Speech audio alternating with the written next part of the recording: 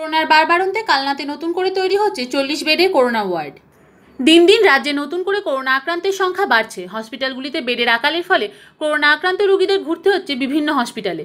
কিন্তু এবার স্বস্তির খবর শোনালো পূর্ব বর্ধমানের কালনা সুপার স্পেশালিটি হাসপাতাল।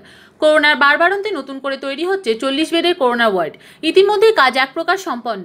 অক্সিজেন লাইনের ব্যবস্থা সম্পন্ন হলে চালু হয়ে যাবে কালনা মহকুমা হাসপাতালের corona word.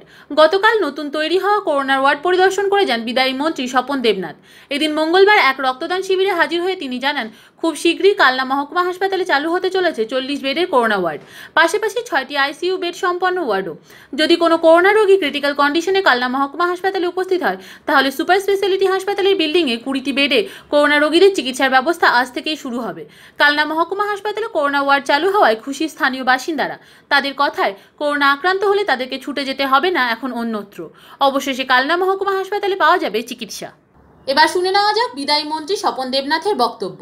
Bureau report news Bangla twenty four into seven, সবার সাথে, সবার পাশে। চিকিৎসা। বর্তমানে যেতে হতো কালনা হাসপাতালে একটা ইউনিট খোলা হলো, চল্লিশটা বেডের। মানুষ যদি মনে করে একটু উপকার উপকার হবে তার সমস্ত ব্যবস্থাপনা করতে কাল গেছিলাম। চারটে, ছটা আইসিইউ করা হয়েছে।